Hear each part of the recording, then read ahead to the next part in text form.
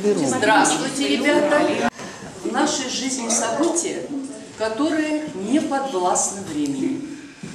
И чем дальше эти события от нас уходят, тем они становятся ярче. Вот к таким событиям относится Великая Отечественная война. Для многих она была давно, но для каждого из нас это событие больше, чем история. Прежде всего, это страничка из жизни нам близких людей, дедов, прадедов, бабушек, прабабушек. Это их подвиг. И сегодня, как никогда важно, чтобы не только мы, люди взрослого поколения, но и вы, молодежь, могли сказать, я помню, я знаю, я горжусь. Вы все знаете, ребята, 9 мая мы будем праздновать День Победы. Но, к сожалению, все меньше остается живых участников Великой Отечественной войны, живых очевидцев, которые смогли бы вам об этих событиях рассказать. Но у нас есть книги, и среди них очень много правдивых, очень много интересных книг. И мы должны с вами их читать, просто должны, я делаю ударение на это слово, чтобы сохранить память о героическом прошлом нашей страны. И сегодня, 4 мая 2018 года, мы с вами присоединяемся к 9 международной акции «Читаем книги о войне». Акция приурочена к Дню Победы в Великой Отечественной войне 41-45 годов. И мы хотим обратить ваше внимание, что сегодня, вот именно в это время, по всей стране, она международная акция, в каждой школе, в каждом городе, Каждая библиотека. да, каждой библиотеке проходят эти чтения. И мы с вами вот в эту большую массу читателей присоединяемся. Девятая международная акция. 22 июня 1941 года и 9 мая 1945 года. Две странички календаря. Два дня истории человечества. Один день называется День памяти и скорби, второй называется Праздник Победы советского народа в Великой Отечественной войне. Всего два дня календаря, а между ними война. Правительственное сообщение. Граждане и гражданки Советского Союза. В большом зале вы узнали о том, что сегодня, вот сейчас моя акция, присоединились к этой акции. И уже девятый раз проводится акция «Читаем детям о войне». Смысл ее, что в одно и то же время, в течение часа, читаются произведения о войне. У нас сегодня в гостях интересный человек, житель нашего города. И хочу ее представить вам, Веру Борисовну Мачехину, ветеран труда, человек, который осваивал землю Восточную Пруссию после того, как наша в 1946 году приехала и трудилась на, для того, чтобы вы жили, и хорошо, чтобы жили, чтобы вы учились, читали, любили родителей, родину. И я хочу Вере Борисовне доставить слово. Она сама расскажет о том, как она пережила войну и почитает нам стихи. Слово вам. Спасибо. Я сяду, ребятки, ладно? Добрый день. Я рада очень видеть вас и поздравить вас с наступающим праздником. Мне было пять лет, когда началась война. И так случилось, что как раз в 41 году папа окончил академию в Ленинграде, мы жили, и был направлен в Монголию строить железную дорогу. Это май месяц. Мы ждали от него документов, чтобы поехать к нему. Мама отправила меня на дачу, как вместе с детским садом. Сестра была пионеркой, поехала в пионерский лагерь. Мы были под Ленинградом, ничего не ожидая плохого. И вдруг началась война. Мы маленькие, конечно, этого не помним начала. Но я помню, что оказалось с группой ребяток, нам уже нечего было кушать, разбежались взрослые, как так получилось. Мама Паша поехала нас искать. Она нашла сестру в пионерском лагере, потом меня, сели мы куда-то на подводу, поехали, потеряла я ботинок свой с одной ноги, босиком уже пришли в свою квартиру в Ленинград. Вы знаете, не вот буквально прошло три недели всего, а как изменился город. Я маленькая, мне было пять лет, я поняла. Во-первых, заклеены окна, чтобы не разбивались стекла. Во-вторых, не, не слышно смеха. Все люди, все взрослые и дети ходят такие серьезные, озабоченные, расстроенные. Пришли домой, стали помогать. Как помогать? Вот газеты есть такие, нам сказал Домуправ, что надо их сворачивать, сшивать. Я маленькая, ну, мне дала сестра иголку, нитку, и вот такими большими стежками мы сшивали газеты, чтобы получился мешочек. Внизу на- э, во дворе был песок. Мы набирали песок туда и тащили на пятый этаж, чтобы эм, значит, ставили рядышком, чтобы потом засыпать на, на крыше фуга- фугасные бомбы.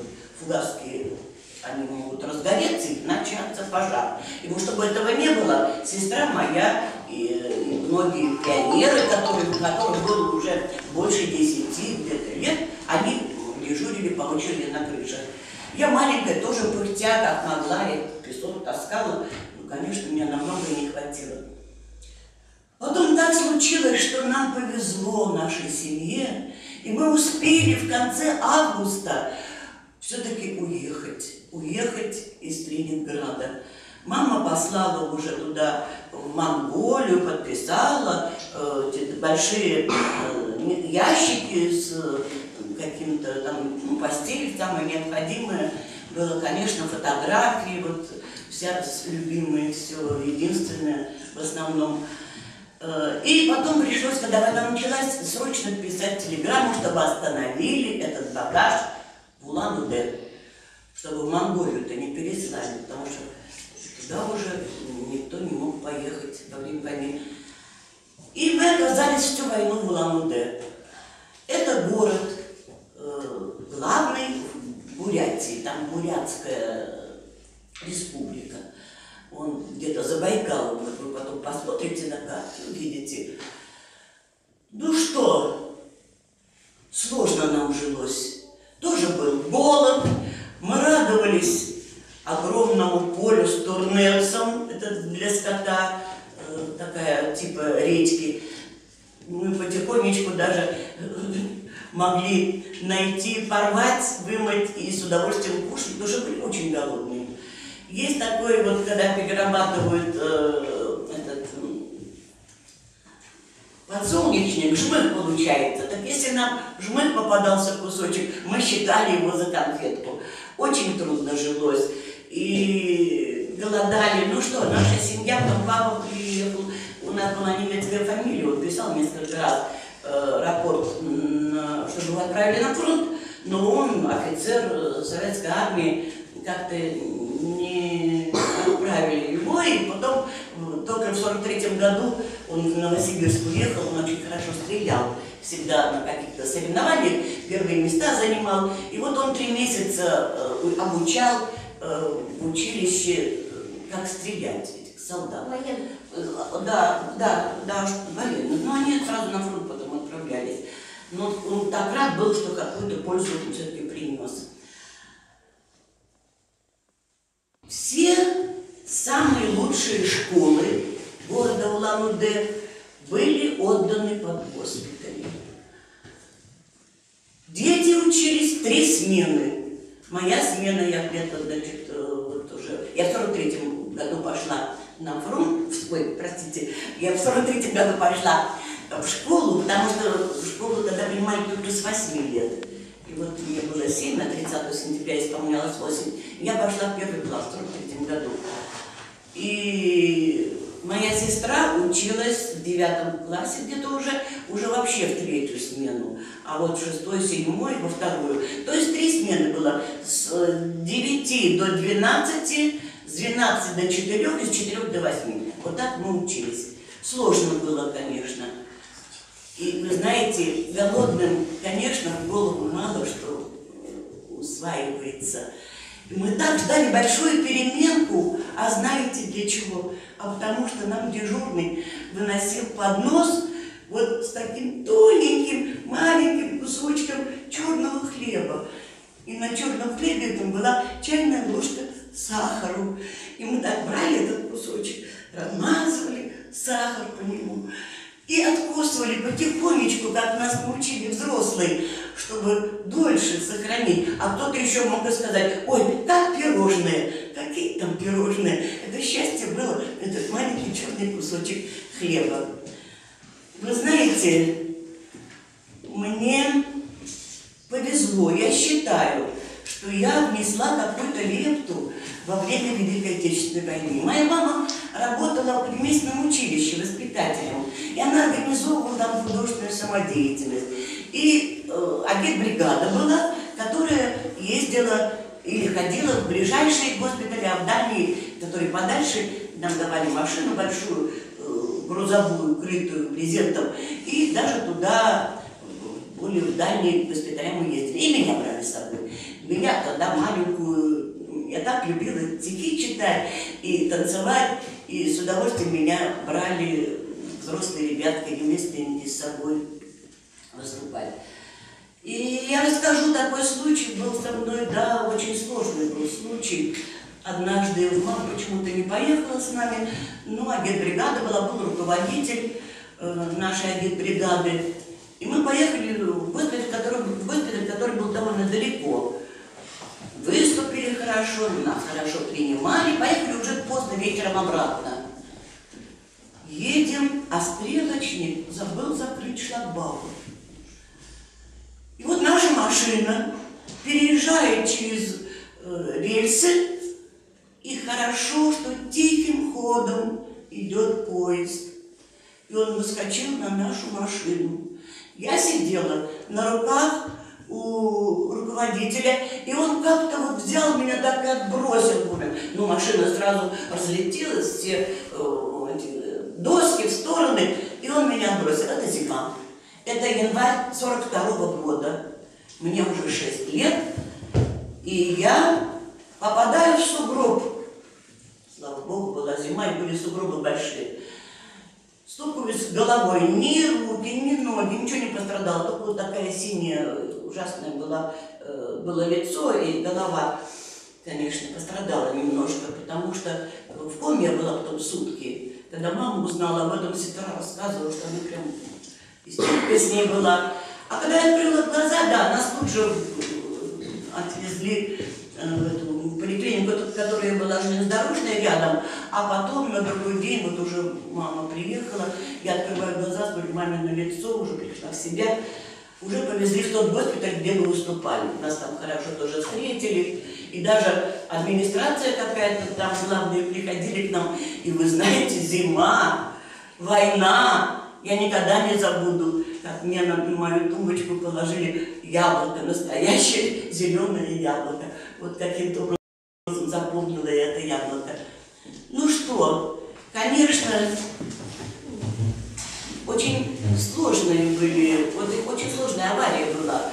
У кого-то там ноги поотрезали, и руководитель наш э, потом э, инвалидом стал, у него спина болела. А мне вот повезло, мне потом многие говорили, что рубашке родилась. Это правда, мне мама говорила, что ты, говорит, у меня в рубашке родилась. Потому что мне очень часто вот я из таких ситуаций выхожу. Что я читала в госпиталях? А вы знаете, сад, в который я ходил на, на горочке был, и вот я после детского сада сбегаю вниз, там бывшая школа большая, там госпиталь. И вот меня уже там многие знали, врачи. А, Элочка пришла, заходи. И вот однажды был такой случай, что он говорит, ты, конечно, читаешь, тебя знают, тебя любят слушать, но я тебя сейчас поведу в очень сложную палату. Там люди лежат, они все перевязанные, Там иногда одни глаза только видны. У них, у многих нет ног, рук. Ну, я так собралась, маленькая же еще, 6 лет, 7 где-то вот в это время. Еще детский сад ходила. Зашла, захожу, да, смотрю, действительно, белая прям палата, эти стоят кровати, и на них в лучшем случае вот так вот щелочки глаза смотрят. Ну, добрые все глаза смотрят на меня. А я, тогда был на журнал такой, «Крокодил» выходил. «Крокодил».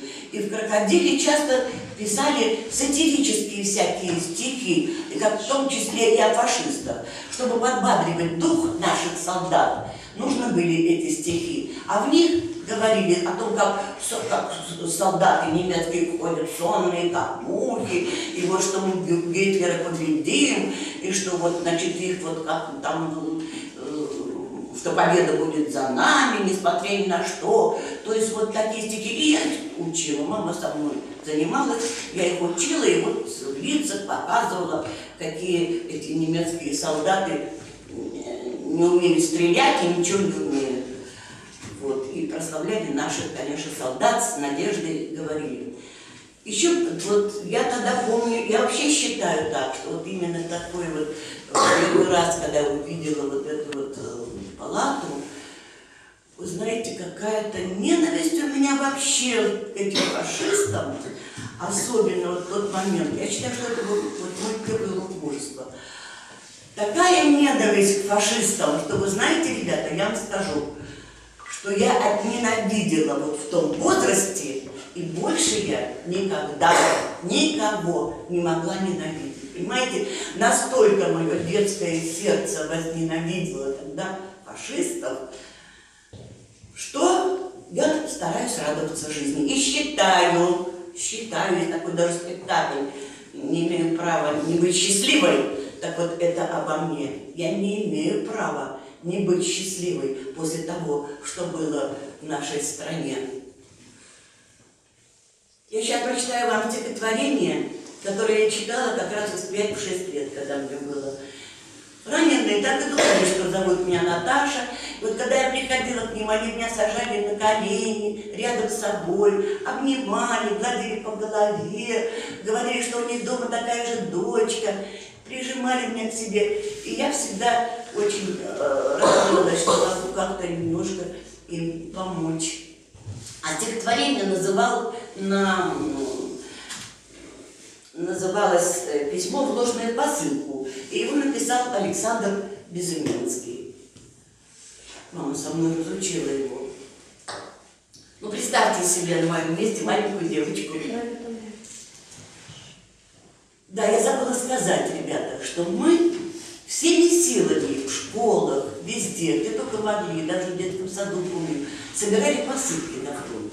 Вот такие ящички, они прямо много-много этих ящичков приходило на фронт, они открывают там солдаты, и, конечно, там и письма, и что-то интересное было, и как-то душа немножко оттаивала у них. Что мы туда положили в эти э, посылки? Э, кто-то варежки теплые, кто-то носочки вязал, кто-то носовые платки. Я помню, меня сестричка научила вышивать платок. Да так интересно, стилем рококо. Вот так цветочек на углу, иголочка, потом на нее накручивается что-то, получается лепесток цветочка. И вот я такой цветочек, помню, вышивала веточку, складывала этот э, платочек в эту посылку, и еще какие-то письма писала.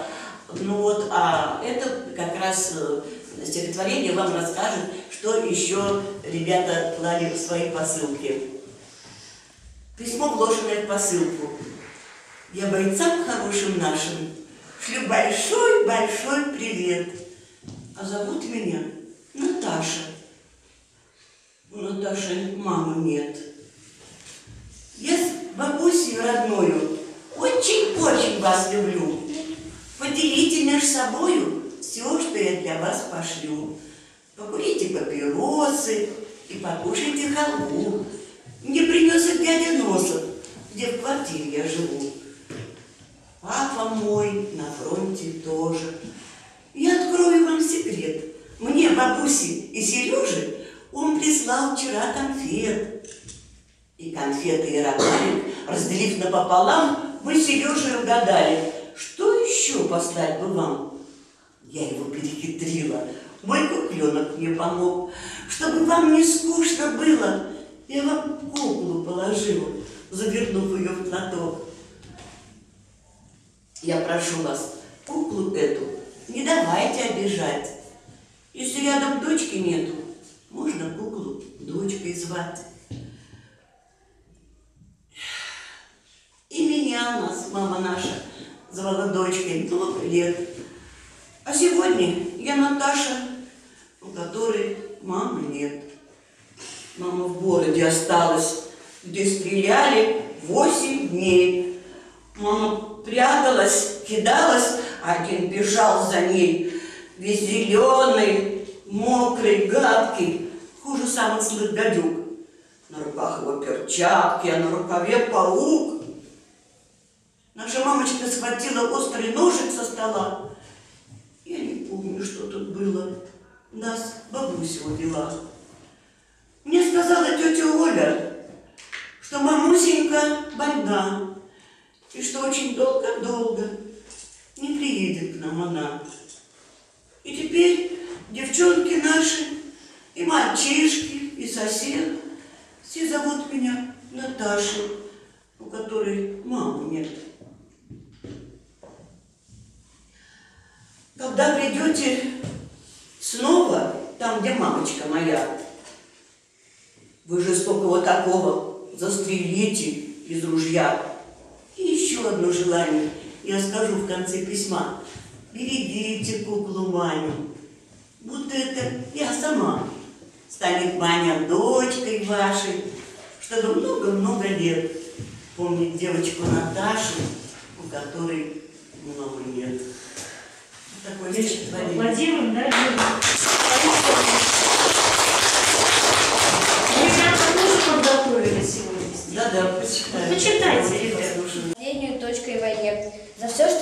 сейчас у нас, за каждый наш счастливый час, за то, что солнце светит нам. Спасибо доблестным солдатам, нашим дедам и отцам.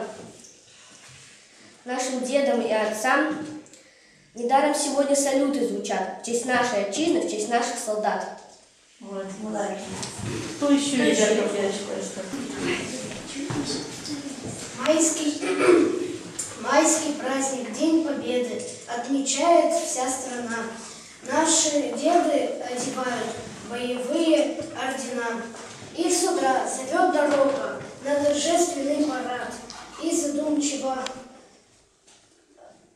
и задумчиво с порога наши бабушки глядят. Молодец. Молодец. Еще, ребята, кто-то? По одному. Ходите.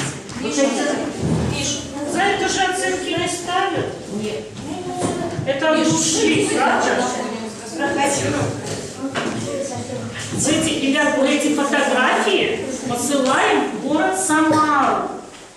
Они организовали эту акцию. 9 лет проводят. И они просили, пришлите фотографии, что у вас эта акция прошла. Поэтому мы вас фотографируем. Красоту, что дарит нам природа, отстояли солдаты в огне. Майский день 45 года стал последней точкой в войне. За все, что есть сейчас у нас, за каждый наш счастливый час. За то, что солнце светит нам, спасибо доблестным солдатам. Нашим, нашим дедам и отцам недаром сегодня салюты звучат. Честь нашей отчизны, в честь наших солдат.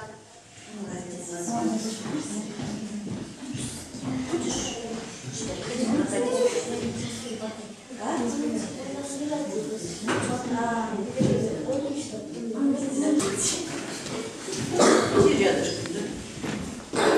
Вместе Ну, против нас полки сосредоточен, враг напал на мирную страну. Белой ночью, самой белой ночью, начал эту черную войну.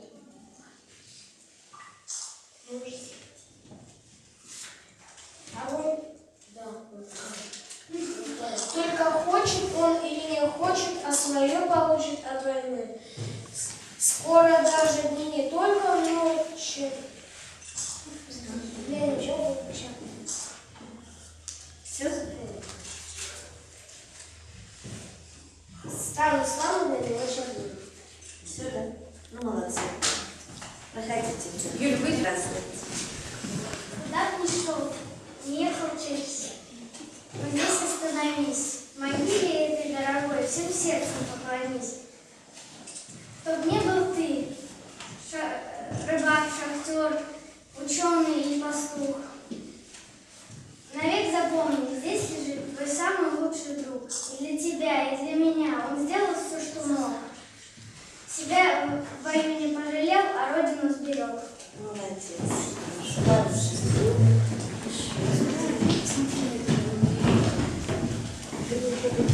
Сына пастух, пограничник на границе, нашу землю стережет. Добровольный, учитель, спокойно наш народ, охраняет наши боги, славу, доблесть своя. Долго летит рекорден, шагается судьба. Наши летчики, герои, небо зорко стережут. Наши летчики, герои, охраняют мирный труд. Наша армия родная стережет спокой страны, чтоб росли бедный нам, чтобы не было войны. Сегодня праздник у солдат на площади, шеренги ряд стоят солдаты на плацу, шинель с фуражкой и к лицу. Страну родную, землю мать наш воин призван защищать, и каждый из солдат герой с врагом неравный бой. И, и им дрожь колен не нужна, ведь за спиной у них страна. И в трудный миг, и в трудный час с собой закрыть готовы нас. Молодец. Ребята, кто еще хочет рассказать? Так, скажите, пожалуйста, у вас время еще есть у вас? Есть, Сколько есть. у вас есть? Есть Ну, еще. Есть еще время, да? Ребята, я представлю библиотекаря возраста. Гульнара Николаевна, она почитает вам произведение, да? Ребята, эта книжка написал Сергей Алексеев. Рассказ о великой войне, о голубке. Было это незадолго до Курской битвы. В стрелковую часть прибыло пополнение. Старшина обходил бойцов, шагает вдоль строя, рядом идет эфрейтор, держит карандаш и блокнот в руках. Глянул старшина на первого из бойца. Картошку сажать умеешь? Боец смутился, пожал плечами. Дальше шагнул старшина. Картошку сажать умеешь? Умею, звонко ответил солдат. Два шага вперед. Вышел со- солдат из строя. Пиши в огороднике, сказал старшина ефрейтор. Дальше идет. Картошку сажать умеешь? Умею, умею. Не пробовал, не умею, не проходил. Но если надо, умею, умею. Хватит, сказал старшина. Вышли вперед бойцы, оказались в строю ум- умеющих и солдат Анатолий Скурка. Дорогая солдат, Скурка, куда их умеющих картошку сажать? Так по времени поздно, а уже и горами лето. Если ее копать, то времени очень рано. Гадает солдат Скурка, и другие бойцы гадают.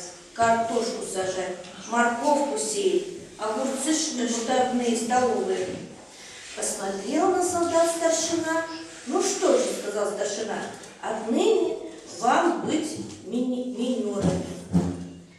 Вдруг, вдруг вручает солдат мину.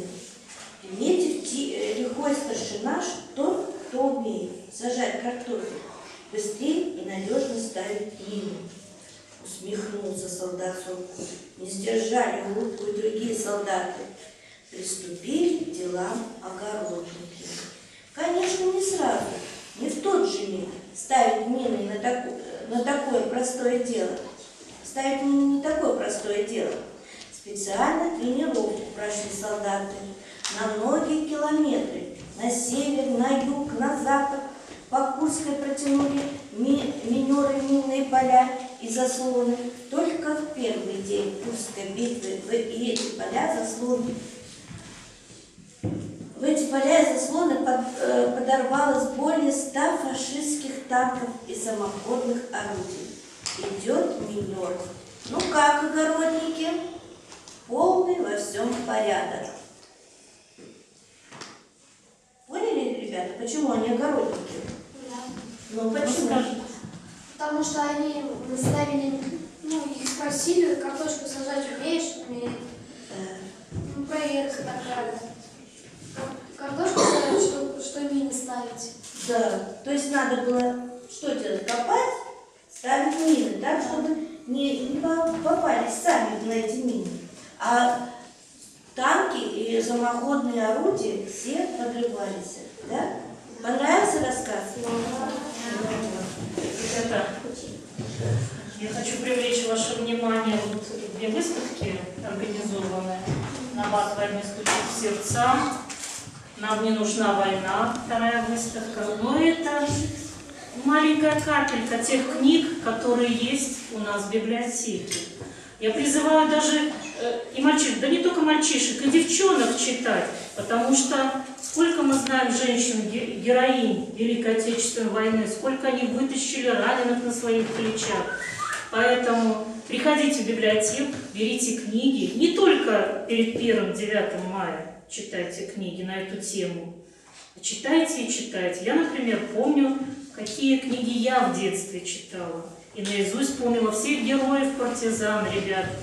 То есть и у нас есть книги о ваших ровесниках, которые воевали, приносили пользу Родине.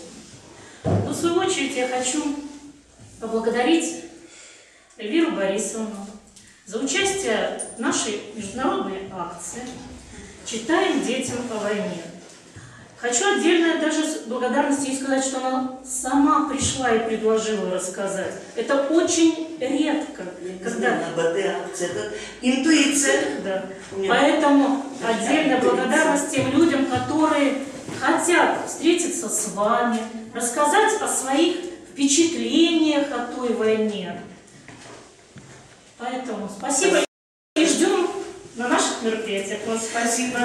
Не только посвященных 9 мая, но посвященных и нашему городу, и нашему краю Калининградскому. Вообще любой теме ребятам будет интересно. Вас в живых осталось на тех дорогах фронтовых. Надеть солдатские шинели в 17 было суждено. Вы увидеть не успели все, что вам юностью дано. Суровые вас звезды ждали из светлой школы прямо в ад. Вы юной грудью защищали Москву, Одессу, Сталинград и выстояли, одолели. Пройдя с боями пол земли, вы сделать главное сумели. От рабства родину спасли. Вот я так хотела. Спасибо вам, ребята. Здесь будущие солдаты сидят, мальчики, много нас мальчиков. Они у нас надежные защитники нашей Родины. Встреча берегам, прикована морозом, серебрянка, тихая река. Так встречайте ж реки и березы своего солдата, земляка. Греется на пепелище кошка и не чует, что солдат пришел. Мать моя печеную картошку выбирает из золы в подол. Мама и просыпала, что было в подоле, и забыв про все свое, и от радости слеза застыла на морщинистой щеке ее. Я смотрю на маму виновата, а она, косынку теребя, чем же накормить, напоить, сынок, тебя? Постоял на улице широкой, на прощание крепко обнял мать и торною дорогой устремился полк я нагонять.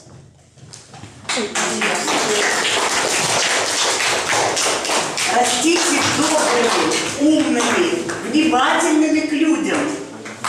И будьте настоящими воинами, когда пойдете в армию. И не забудьте, что от вас очень много зависит. Вы лучше нас. Мы были поглупее. Но у вас сейчас такая возможность стать умными, умнеть, работать, добиваться того, чего хочешь. Давайте, успеха вам. Учитесь хорошо и дружите. Ой, как важно хорошо дружить. У меня подружка есть четвертого класса. Представляете, ребята, сколько лет дружат. В сорок шестом году вместе учились в четвертом классе.